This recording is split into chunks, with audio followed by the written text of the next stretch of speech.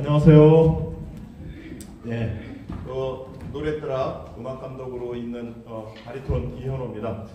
오늘 어, 사회를 안창수 회장님께서 보시기로 하셨는데 어, 조금 일이 좀 갑자기 뭐가 생기셔가지고 연락을 받고 급하게 예, 가셨습니다.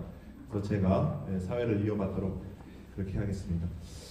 어, 1부 때 너무나들 다들 수고하셨고요. 예, 준비를 열심히 하신 티가 납니다. 그래서 너무 감사를 드리고요.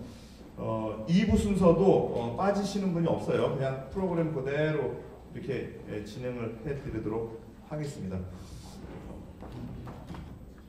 어, 귀한 분들이 많이 오셨지만 두 분만 잠깐 소개를 해드리겠습니다. 우리 박준영 선생님이신데 노래의 날개 위에 노래 부르는 단체입니다. 노래의 날개 위에 대표님이신데 오늘 와주셨습니다. 우리 저쪽에 계신데요. 박수 한번 큰 박수 한번 보내주세요. 네, 감사합니다.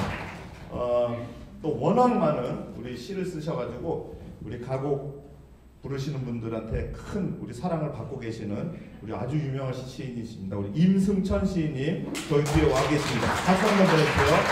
네. 아, 감사합니다. 네. 인터넷에서 임승천 시인 치면요. 예, 끝이 안 보일 정도로 나옵니다. 이게 가곡에 나온 게. 자, 우리 좋은 곡들이 워낙 많은, 많이 이렇게 작곡되어 있습니다.